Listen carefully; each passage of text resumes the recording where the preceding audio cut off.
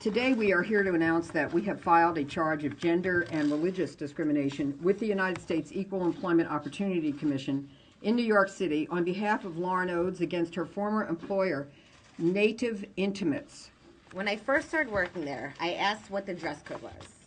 And I was just told to look around and see what everyone else was wearing. So I did.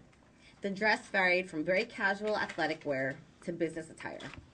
When my supervisor suggested that I tape down my breasts, I asked, Are you kidding me? The supervisor, the supervisor said, Just cover up a little more.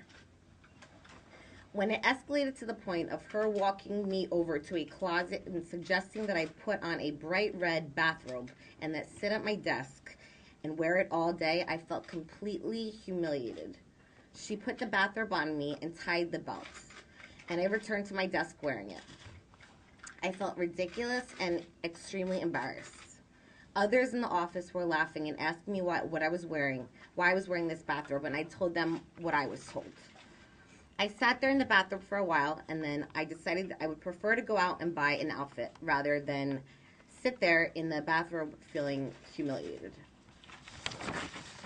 I asked if I could go buy a large sweater, which I was told should be down to my ankles, instead of wearing the, the red bathrobe. I was told that I could. However, while I was out shopping, I received a phone call that I was terminated.